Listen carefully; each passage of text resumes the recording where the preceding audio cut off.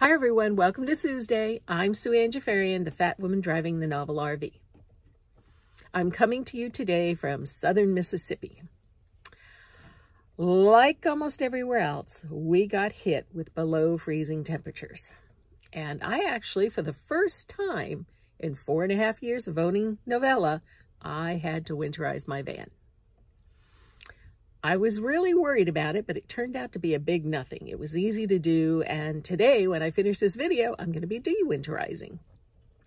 I'll also be leaving this campsite in a couple of days. But today, I wanted to talk about reevaluating whether or not I want to remain on the road. You see, when I first got on the road and started living as a nomad, I told myself I would reevaluate this lifestyle one year in. So after the first year of being on the road, I did just that. I sat down and I thought about the pros and the cons and was it good for me? Was it not good for me? Did I like it, for one thing? Um, and came to the conclusion that I love this lifestyle. So I reset my calendar to reevaluate when I turned 70. Well, I turned 70 just a few days ago. This is what 70 looks like. You know, what can I say? This is it.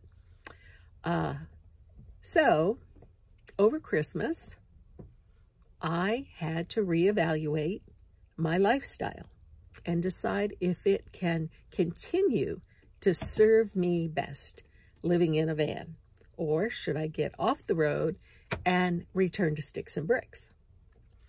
I did the pros and cons, and there were a lot more pros than cons. I decided that, yes, I want to continue this lifestyle. I want to remain a nomad. I want to remain in this van with Moxie. And, and no, Moxie didn't get a vote in this. It was strictly me. Um, it's, it was a dictatorship regarding this. So I will continue living my life in this van with all its ups and downs, challenges, and high points for the foreseeable future. I'm not sure if I'm going to reevaluate at 75. Maybe at 72. Two more years, and then we'll see what happens. Of course, anything can happen in the meantime. My health could take a turn for the for the not so good. Uh, the van could take a turn for the not so good. Anything can happen in the next couple of years. But I've decided to reevaluate again when I turn 72. Uh, and you know, I get asked all the time if I have an exit plan. And a lot of full-time RVers say you must have an exit plan. I don't have one. I don't have a plan for getting off the road. I just feel that I'll know when the time is right. I'll either be forced off by health or maybe van issues or I don't know, just the sheer desire to be back in a sticks and bricks. But I have no exact exit plan. When the time comes, I'll be ready for it. And maybe for the next few years, I'll just keep motoring around, staying in favorite campgrounds, visiting new places, meeting new people, writing new books.